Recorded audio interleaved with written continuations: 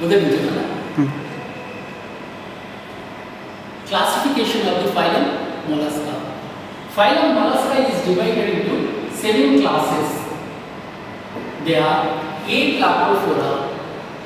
A means shell is absent. Due to the absence of scale, the class name is derived as Aplacophora. Example is Neomenia and Ketodobia. Second class, Polyplacophora. Poly means many. There are large number of shells are present or plates are present in the body. Hence, they are known as the Polyplacophora. Example is the chiton.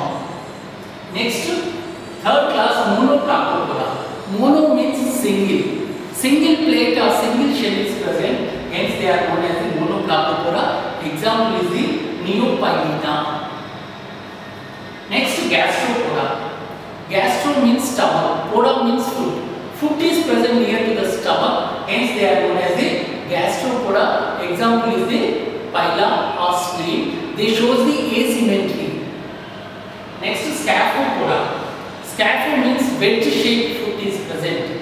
Hence, they are known as scaphopoda. Example is the Dentalium. Next, pelecypoda. In pelecypoda, there are two walls are present, hence they are known as bivalvia. Example is the unio or freshwater mussel. Next is cephalopoda. Is in phylum Mollusca, cephalopods are highly developed animals and cephalo means head, poda means foot. Foot is present near to the head region, hence the class name is derived as cephalopoda. Example is the sepia. These are the main important characters of the class, different classes of the phylum Mollusca. Now we have to discuss each class important characters and examples.